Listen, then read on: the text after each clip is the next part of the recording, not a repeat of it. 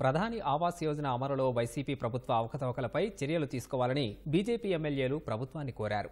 ఈ మేరకు బీజేపీ ఎమ్మెల్యేలు విష్ణుకుమార్ రాజు పార్థసారథి ఇరవై సూత్రాల అమలు కమిటీ చైర్మన్ లంకా దినకర్ని కలిసి వినతపత్రం అందజేశారు.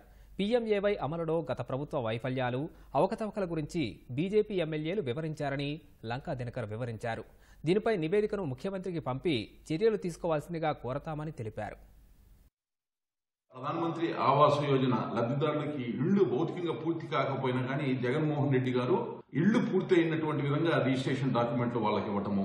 ఏ గృహాలైతే ఉన్నాయో వాటి మీద బ్యాంకు నుంచి రుణాలని తీసుకొని లబ్ధిదారుల పేరు మీద ఆ మొత్తాన్ని కూడా డైవర్ట్ చేయటము. ఆ ఇళ్ళు పూర్తి కానందువల్ల ఆ వడ్డీ పెనుభారం అయ్యి ఇబ్బందులు పడటం బ్యాంకుల దగ్గర నుంచి నోటీసులు తీసుకోవటం వారికి బాగా పేదవారికి ఇబ్బందులు అంశాన్ని దృష్టికి తీసుకొచ్చారు. గౌరవ ముఖ్యమంత్రి చంద్రబాబు నాయుడు గారికి అలాగే మున్సిపల్ అడ్మినిస్ట్రేషన్ శాఖ మార్చులు నారాయణ గారికి ఈ యొక్క వివరాలన్నీ కూడా మేము సమీక్ష చేసి ఒక నివేదికని ఇచ్చి బాధితులందరికీ కూడా న్యాయం జరిగేటటువంటి విధంగా మా కార్యాచరణ ఉంటుందని తెలియజేస్తున్నాం.